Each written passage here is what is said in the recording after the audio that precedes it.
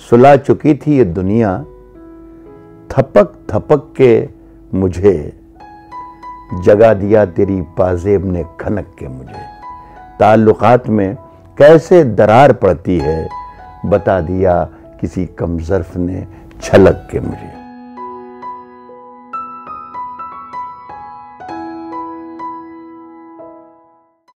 कश्ती तेरा नसीब चमकदार कर दिया, इस पार के थपेड़ों ने उस पार कर दिया। अफवाह थी कि मेरी तबीयत खराब है।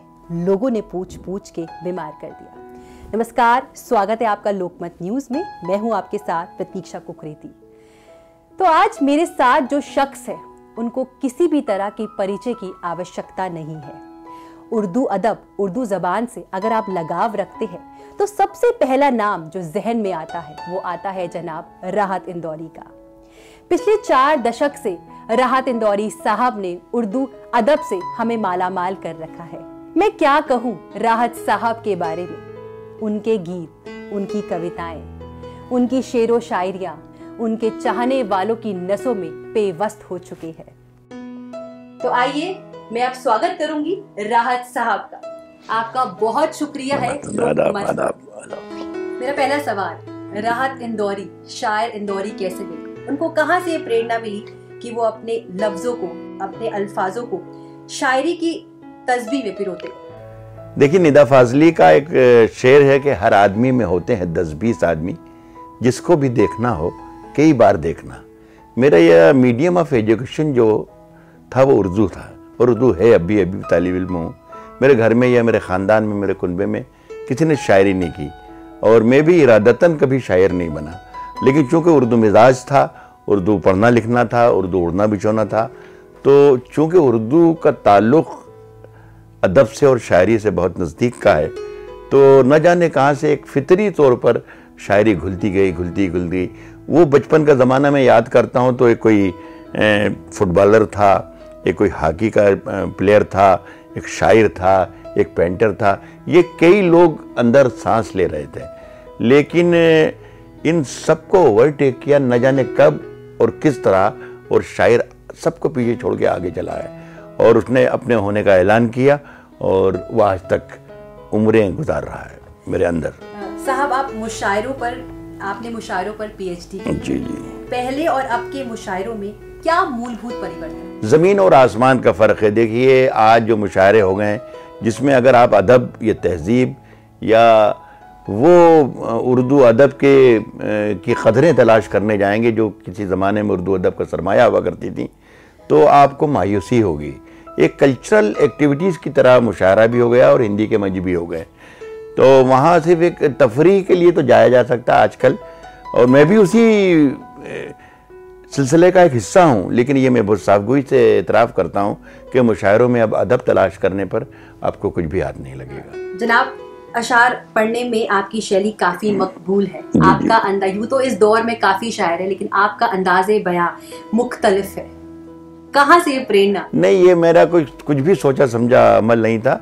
मैं पहले किसी ज़माने में तीस पैंतीस बरस पहले जब ताज़ा ताज़ा आया था मुशायरों के स्टेज पर मंच पर मुशायरों की महफिलों में तो मैं भी तरन्नुम ही पढ़ा करता था। उस ज़माने में गाकर तरन्नुम में पढ़कर ही कोई शायर कामयाब हो जाया, होता था। ये पहली शर्त हुआ करती थी उस ज़माने में। लेकिन मेरी शायरी जिस तरीके की होती तो मेरे इस जो थे उस, मेरे साथ में, मेरे बुज़ुर्गों ने ही मुझे मशवरा दिया कि आपकी जो शेर होते हैं, उसमें तरन्नुम की ख़त ज़रूरत नहीं होती। आप अगर सीधे सीधे ऐसे ही पढ़ेंगे, तहत लफ्ज़ में तो लोग पसंद करेंगे। तो एक दो मरतबा मैंने महाराष्ट्र की तरह की मुशायरों में पढ़कर देखा और लोगों ने पसंद किया। और मुझे जब एक रास्ता मिला तो मैं उसी पर चल निकला। और वो शैली इतनी मकबूल हुई कि अब फिर मैंने ये देखा कि फिर कुछ बरस के बाद जिस शहर में मैं जाता था वहाँ पे कोई आधा दर्जन राहत इंदौरी ज़रूर मिलते थे मुझे। उसकी याद आई है सासों जरा आहिस्ता चलो धड़कनों से भी इबादत में खलल पड़ता है। जी जी, जी। प्यार भरी जो आपकी शायरी है वो लाखों दिलों में राज करती है। तब के प्यार करने में और आज के प्यार में क्या फ़र्क? देखिए रोमांस और तगजुल उर्दू गज़ल का ख़ास हिस्सा होता है। और इससे कोई बच के नहीं निकल जाए, चाहे इनकलाब बर्पा कर दे, चाहे फसादात पे शायरी कर ले, या इनकलाबी शायरी कर ले, या जंगों पर शायरी कर ले पाकिस्तान पर, हिंदुस्तान पर, सियासत पर, किसी पर भी शायरी कर ले। लेकिन किसी ने कहा है कि बनती नहीं है, शाहिद मीना कहे बगैर।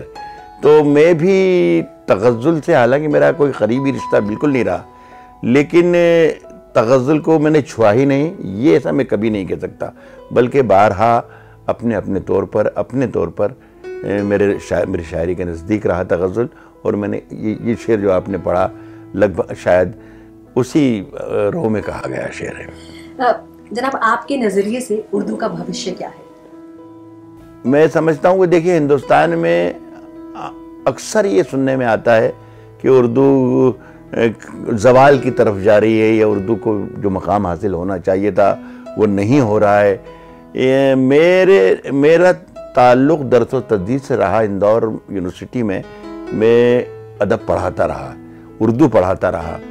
तो मैं ये समझता हूँ कि न सिर्फ़ उर्दू ज़ुबान, बल्कि हिंदुस्तान में जितनी ज़ुबानें हैं, मसलन हिंदी, गुजराती, मराठी पंजाबी, जितनी ज़ुबानें हैं, तमिल या साउथ की ज़ुबानें देख लीजिए, जितनी ज़ुबानें हैं, उन हर आदमी जो ज़ुबान से जिसका ताल्लुक़ है वो यही कहता है कि मेरी ज़ुबान पीछे जा रही है, सिर्फ़ अंग्रेज़ी आगे आ रही है, बाकी सारी ज़ुबानें लेकिन मैं तो ये समझता हूँ कि देखिए, मैं जिस, मेरा जिस ताल्लुक़ ज़ुबान से ताल्लुक़ है या जो सवाल आपने मुझसे किया, उर्दू ज़ुबान के हवाले से मेरी शनाख्त है, मेरी पहचान है, जिसका मरकज़ कभी हुआ करता था अलीगढ़ या दिल्ली या लखनऊ या भोपाल या फैज़ाबाद या अवध। ये यहाँ से अलीगढ़ भी ले सकते हैं। यहाँ से अगर आपने जैसा सवाल किया कि कम हो रहा है तो मैं ये देखता हूँ कि ये नार्वे में चला जा रहा, चली गई ज़ुबान। ये वाशिंगटन में बोली जा रही है, ये न्यूयॉर्क में इसकी महफिलें सजाई जा रही हैं। या ऑस्ट्रेलिया में मकबूल तरीन हो रही है, वहाँ पर रसाई निकल रहे हैं अखबार निकल रहे हैं, वहाँ पर शायरी की महफिलें सज रही हैं। तो मैं तो इस तरीके, इसको कहता हूँ कि ये तरक्की ही कर रही है ज़ुबान। अलबत् एक ज़रूर छोटी सी शिकायत, हुकूमतों से मैं कभी तो नहीं करता, ना हुकूमत से, ना अकेडमीज से, ना सरकार से। अलबत् मैं शिकायत करता हूँ उर्दू वालों से ही। कि उर्दू को अगर महफूज रखना चाहते हैं आप तो पहली शर्त यह है कि आप अपने घर में अपने बच्चों को खुद से उर्दू पढ़ाएँ। आप सरकारों की तरफ़ ना देखें आप संस्थाओं की तरफ़ मत देखें अंजुमनों की तरफ़ ना देखें एकेडमीज़ की तरफ़ ना देखें। तो मैं समझता हूँ कि उर्दू का भी कोई नुकसान हुआ नहीं है। उर्दू हमारी गिरफ्त में है और उर्दू की मकबूलियत दिनों दिन रात दिन रात बढ़ती जा रही है।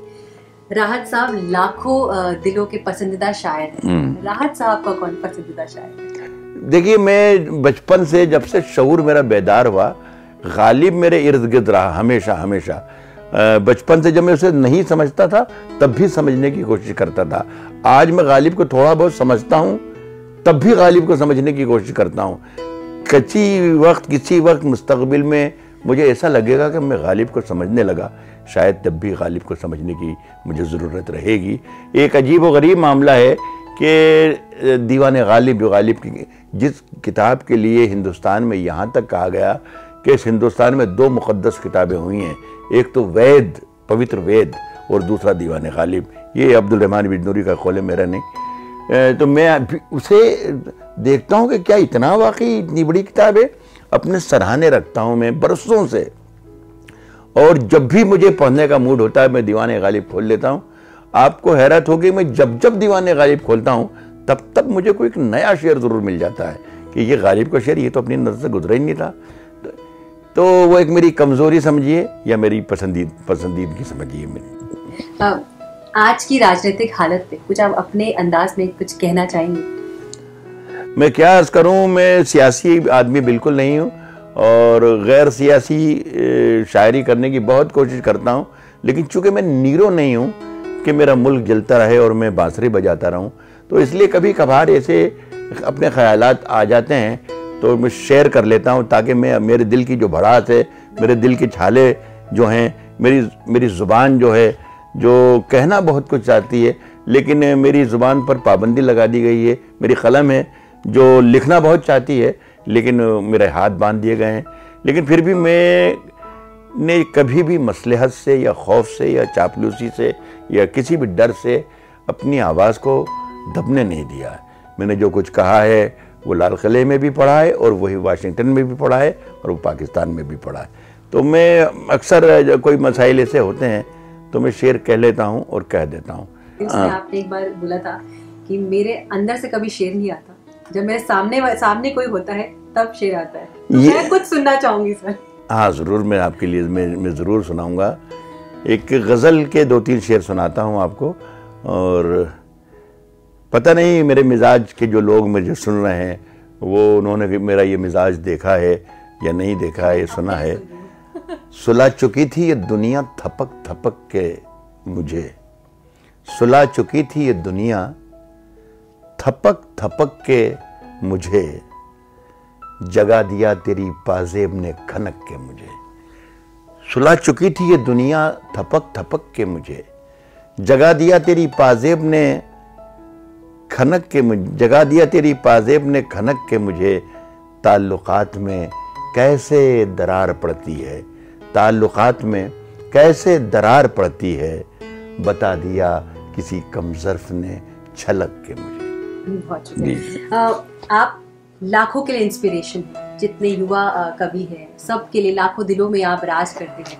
बड़े बेबाक, बड़े बेखौफ तरीके से आप अपनी बात रखते हैं। तो क्या मैसेज देना चाहेंगे आप आज के कवियों को, आज के शायर नहीं, देखिए, अगर शायर या कवि, चाहे हिंदी का हो या उर्दू का या किसी भी ज़ुबान का हो, उसके आसपास शहर सुलग रहा है और वो श्रृंगार के गीत लिख रहा है ऐसी गज़लें लिख रहा है जो जिसका ताल्लुक़ मोहब्बत और इश्क से और औरत से मैं समझता हूँ कि वो अपने फ़र्ज़ के साथ, अपने फ़न के साथ नाइंसाफ़ी कर रहा है। शायर समाज का दर्पण होता है।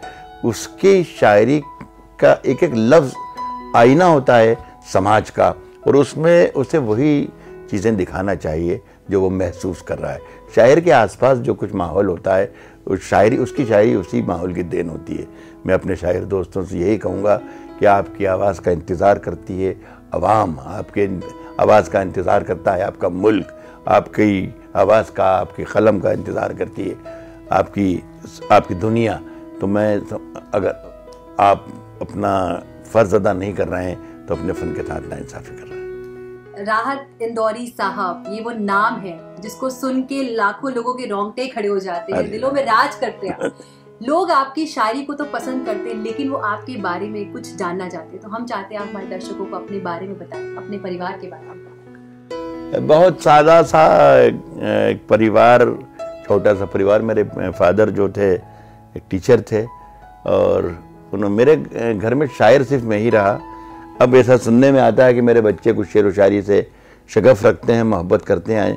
अच्छा लगेगा कि जब मुझे कोई मुझे, कोई दूर से आकर मुझे सुनाएगा कि राहत भाई आपके बेटे का एक शेर आपको मैं सुना रहा हूँ। लेकिन ऐसा अभी तक हुआ नहीं है। मेरी बेटी है, एक, उसकी मैं शादी कर चुका हूँ। बच्चे दोनों साहिब रोज़गार हैं, माशाल्लाह। एक ई टीवी में नौकरी करता है। एक, बैंक में मैनेजर है। दोनों पढ़े लिखे हैं। तीनों चारों सबकी शादी मैंने कर दी है। और ज़िंदगी बहुत ही सुकून से गुजर रही है। अल्लाह का शुक्र है। बहुत शुक्रिया राहत इंदौरी साहब का हमें अपना कीमती वक्त देने के लिए। वेलकम आपका है बहुत बहुत मेरे सहयोगी वकार अहमद के साथ प्रतीक्षा कुकरी